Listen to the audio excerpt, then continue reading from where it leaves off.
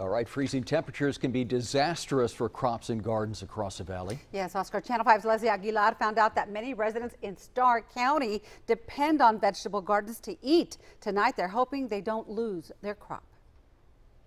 Right now, much of Starr County is considered to be in what the U.S. Department of Agriculture calls a food desert. That means many families don't have access to fresh, healthy food.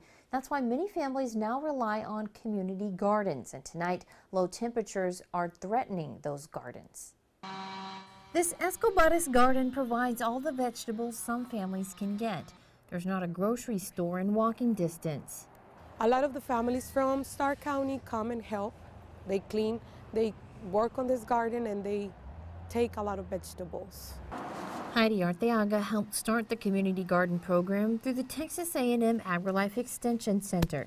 She says many families have come to rely on the vegetables. This program is um, for low-income families from Starr County, and we uh, help them and we teach them how to start their own vegetable gardens at home so they can have more access to healthy food. They grow everything from carrots and lettuce to radishes and beets. Tonight, they could lose much of it. We are a little bit worried. Arteaga is trying to harvest what she can before the freeze comes. Many of the families who eat the vegetables from this garden also grow their own at home. With low temperatures, we recommend to bring your tender plants inside the house if possible if not possible, you can cover your plants with cardboard boxes or little blankets. She says it's taken time to get this community garden project up and running.